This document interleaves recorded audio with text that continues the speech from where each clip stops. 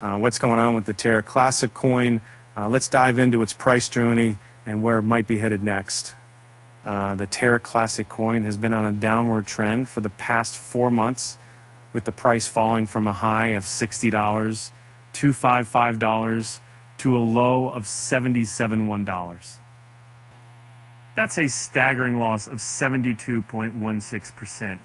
Uh, but things are looking up as the coin's price is now trying to stabilize above a, a support trend line that has been intact since November 2023. Uh, the coin uh, has rebounded for three times from this uh, dynamic support, uh, uh, indicating a, uh, a crucial accumulation zone for buyers. And in fact, the recent reversal from this support has already lifted the asset by 12.8%, with the price currently trading at $0.00081 and a market cap of 443.2 million.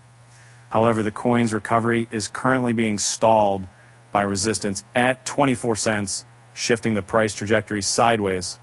A potential breakout from this resistance, though, could accelerate the bullish momentum and take the coin past 6666 166 1.2 $6.0088 for a 12 to 14% rally. Um, but there's a catch. A breakout above the overhead trend line is crucial for buyers to regain control over this asset. A successful breach will signal an early sign of trend reversal and bolster buyers to chase the initiated target of 0.00 dollars. As for the technical indicators, the 20-day exponential moving average slope is offering dynamic resistance, leading to the current correction trend.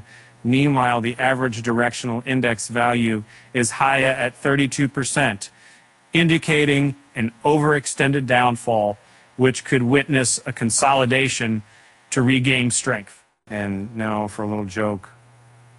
Why did the Terra Classic coin go to school? Because it wanted to learn how to be a bull sive. With that said, thanks to more, and we're doing you for watching, and until next time.